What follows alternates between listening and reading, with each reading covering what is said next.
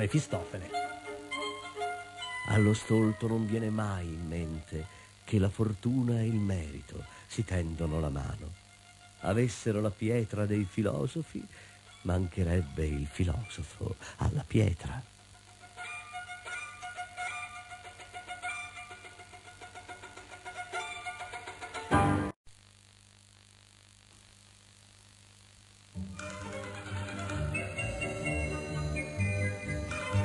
Giardino di svago, sole mattutino.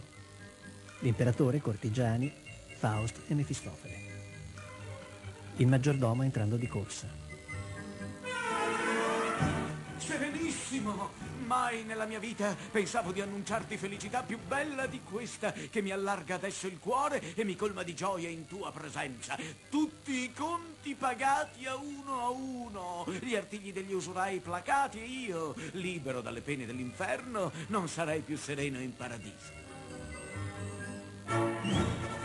Il comandante dell'esercito segue di corsa il maggiordomo che era entrato di corsa. Si è concesso un acconto sulla paga. Tutti i soldati rinnovano la ferma. Si sente sangue nuovo nelle vene. Il lanzo, offi e donnine se la spassano. L'imperatore. Come vi gonfia il petto nel respiro, come spianate il viso corrugato, come accorrete precipitosamente. Il tesoriere saltando fuori. Domanda a quei due. È opera loro. Faust. Riferire si addice al cancelliere. Il cancelliere avvicinandosi lentamente. Grande fortuna nei miei tardi giorni. Guardate il foglio greve di destino che ha tramutato in gaudio ogni tormento. Leggo.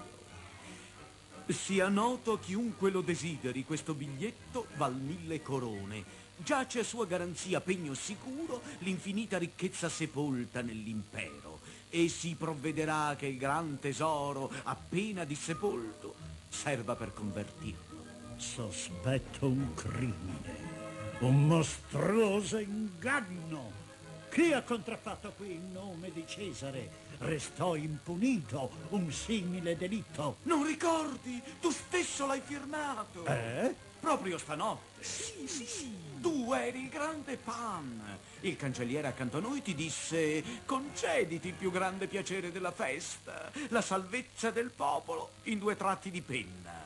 Una firma perfetta, subito riprodotta nella notte a miriadi, per magia.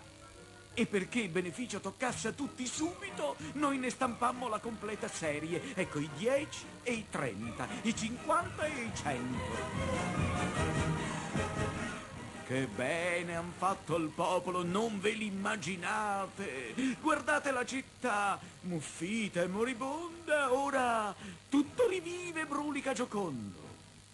Il tuo nome da tempo fa già felice il mondo, ma non l'ha mai gridato con tanta simpatia. L'alfabeto ormai è in soprannumero, in questo segno tutti son beati. Per la mia gente, dale il zecchino. Sì, Basta per buona paga alla truppa, alla corte. certo. Mi meraviglio, ma devo approvare. Scappano via, acciuffarli è impossibile. In un lampo si sono sparsi ovunque. I cambiavalute a banco permanente onorano sul posto ogni biglietto con oro e argento, certo, con lo sconto.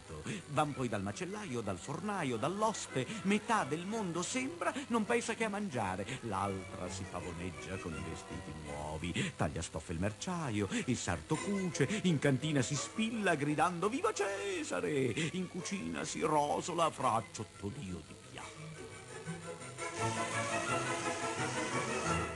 va a spasso da solo sui bastioni È Mefistofele che parla. scorgerà la più bella in abiti sontuosi sorridergli se sbircia quel foglietto che conquista i favori dell'amore più svelto di ingegno e di buone parole. Basta con il tormento di borsa e borsellino. È comodo portare in seno il fogliettino che lì s'accoppia bene al biglietto galeotto. Devotamente il prete lo porta nel breviario e il soldato, per correre più rapido, si è alleggerito la cintura ai fianchi. Sua maestà mi perdoni se sembro sminuire la grande opera con simili minuzie. Nelle tue terre, imperatore, la massa senza fine dei tesori sepolti e irrigiditi non serve a Faust. niente. Il più vasto pensiero non riesce a concepire una ricchezza simile. La fantasia nel suo più alto volo si affatica e rimane inadeguata. Ma gli spiriti degni di guardare nel profondo han nell'illimitato, illimitata fede. Una carta così, al posto di oro e perle, è comoda. Si sa quel che si ha. Non serve far mercato né baratto. Ci si inebria d'amore e di vino a piacimento. Se si vuole metallo, il cambio è pronto. Se ne manca, si scava per un po'. Coppe e collane si mettono all'incanto e la carta, che è ammortizzata subito, svergogna l'insolenza dello scettico. Non voglio nient'altro. Sono già abituati. Così in tutto l'impero, d'ora in poi, d'oro, gioielli e carta ne avranno quanto vuoi. Il grande beneficio all'impero a voi lo deve. Se possibile, sia il premio pari al merito. Si affidi il sottosuolo dell'impero a voi, degni custodi dei tesori. Voi conoscete il vasto e ben difeso scrigno. Pronte! Quando si scavi, sia per vostro ordine.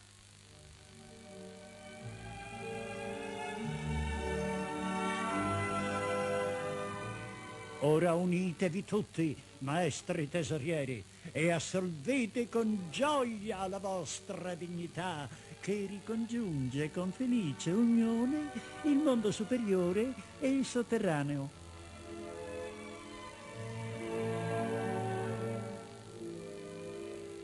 Il tesoriere. Non sorgerà fra noi la minima contesa. Mi garba avere il mago per collega. Ex unt in Letizia.